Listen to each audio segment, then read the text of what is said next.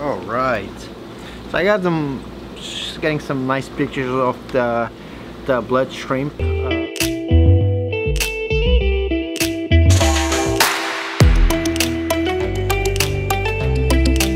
Lysmata debelius. So things about this shrimp, they're gorgeous, beautiful. It's uh, it's easy to keep.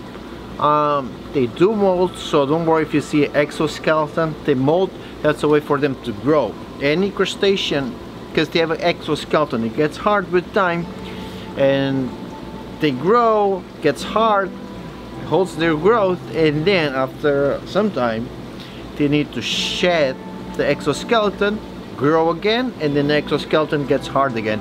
During that time they're susceptible to predators because they're nice and soft and uh, predators prefer nice and soft.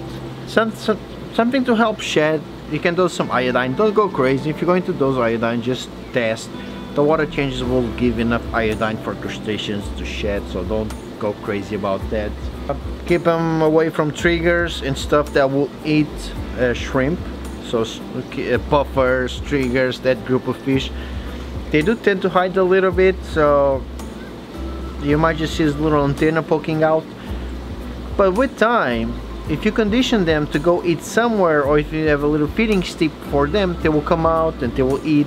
They also can clean the fish a little bit not as much as the cleaner shrimp but they can clean them a little bit. Like if you put your finger you can train them to put your finger and they will climb up and kind of nip a little bit especially if they're hungry. But um, it's a great shrimp to keep. It's very easy beautiful. Highly recommended. Alright guys see you tomorrow. Bye